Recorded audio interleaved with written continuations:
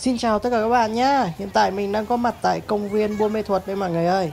Và ngày hôm nay mình mới có thời gian rảnh để sắp xếp lên đây quay cho mọi người xem coi hình ảnh à, Con rồng đang gây sốt cộng đồng mạng à, trên tiktok mấy ngày gần đây. Đây chính là hình ảnh chú rồng mà được bình chọn là đẹp nhất của cả nước nhé các bạn. Và dạo gần đây thì Đắk Lắk rất là chịu chi.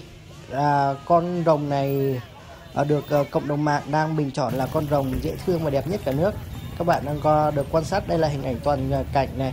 Hiện tại thì đang là 28 Tết và số lượng du khách cũng như là người dân đến đây chụp hình rất là khá đông nhé khá vất vả và khá đông đó các bạn ạ.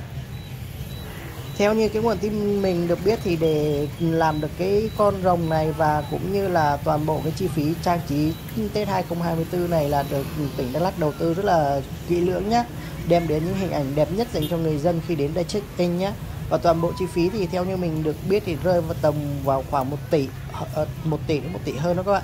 Đấy các bạn đã được quan sát hình ảnh bé rồng của Đắk Lắk nhé à, theo như mình nghĩ thì chắc là đây là hình ảnh bé rồng đẹp nhất đấy các bạn. Các bạn à, thấy hình ảnh này như thế nào? Khá là tuyệt vời đúng không? Khá là đẹp.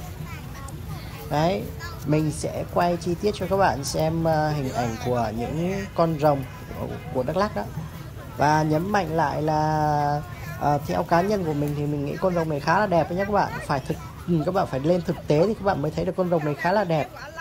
Coi qua màn hình thì các bạn không cảm nhận được cái độ đẹp của nó đâu. Nói chung là mình thấy cái con rồng này là khá chất lượng và khá tuyệt vời đấy các bạn ơi.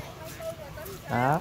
Xem đến đây thì đừng ngần ngại bấm like cũng như bấm đăng ký kênh nha Chúc tất cả những ai bấm like, bấm đăng ký kênh có một năm mới vui vẻ, an khang và thịnh vượng nha. Còn bây giờ mình xin chào và tạm biệt các bạn để mình đi về đây. Xin chào và hẹn gặp lại.